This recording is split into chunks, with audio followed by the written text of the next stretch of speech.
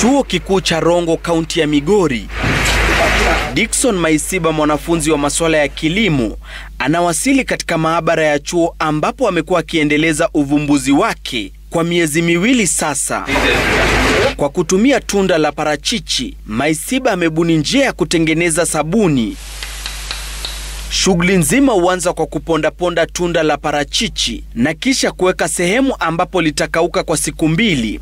Baada ya kukauka, anasonga na kuzoa mafuta ya parachichi yanayochanganywa tena na tunda hilo lililopondwa bila ya kukaushwa. Kisha anakoroga mchanganyiko kuhakikisha umeshikana sawasawa. sawa.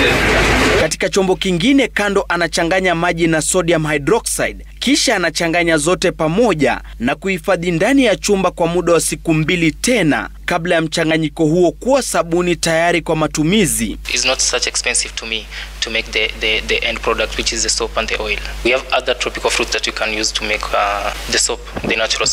So we have the coconut and we have sunflower.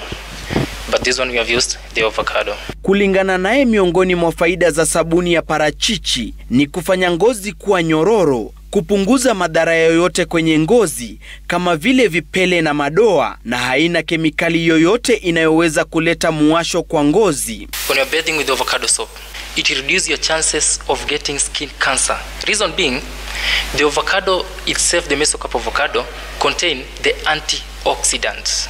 practical will not interfere with the basic food security. It will deal with the food that goes for waste in the market and in the farm.